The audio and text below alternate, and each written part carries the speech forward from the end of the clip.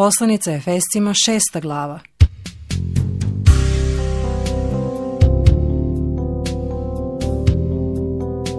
Deco, slušajte svoje roditelje u gospodu, jer je to pravo.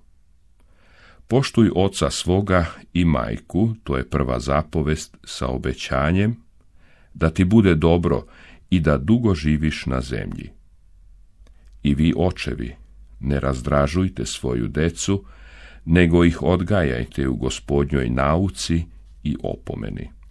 Robovi, slušajte svoje telesne gospodare sa strahom i trepetom, u prostoti svoga srca kao Hrista, ne služite samo pred očima kao oni što ljudima ugađaju, nego kao Hristovi služitelji koji vrše Božju volju od sve duše.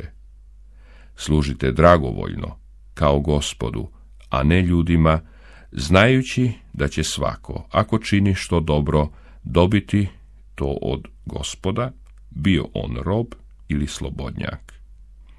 I vi, gospodari, isto tako postupajte s njima, bez pretnje, znajući da je njihov i vaš gospod na nebesima i da on ne gleda ko je ko. Spremnost za borbu.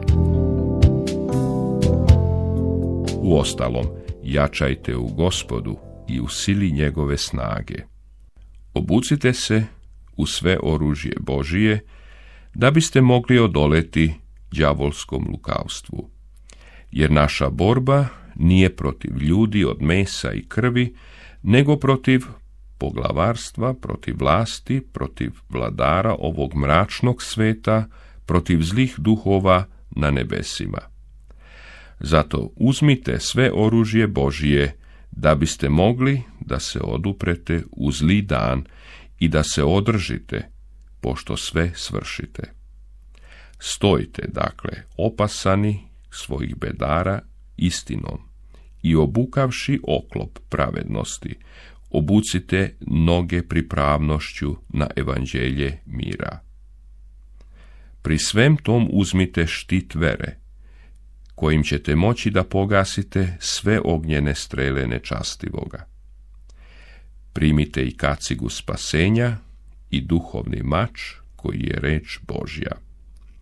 Svakom molitvom i moljenjem molite se Bogu u duhu svakom prilikom i radi toga bdite u svakoj istrajnosti i moljenju za sve svete i za mene, da mi se dade reč, kad otvorim svoja usta, da sa slobodom obznanim tajnu evanđelja, za koje sam ja poslanik u okovima, da u njemu slobodno govorim, kao što i treba da govorim. Završna poruka i pozdrav. Da i vi znate sve o meni, šta ja radim, o svemu će vas obavestiti Tihik, dragi brat, verni služitelj u gospodu, kojega vam baš zato i poslah, da doznate kako smo mi i da uteši vaša srca. Mir braći i ljubav sa verom od Boga Oca i gospoda Isusa Hrista. Blagodat sa svima koji u neprolaznosti ljube gospoda našega Isusa Hrista.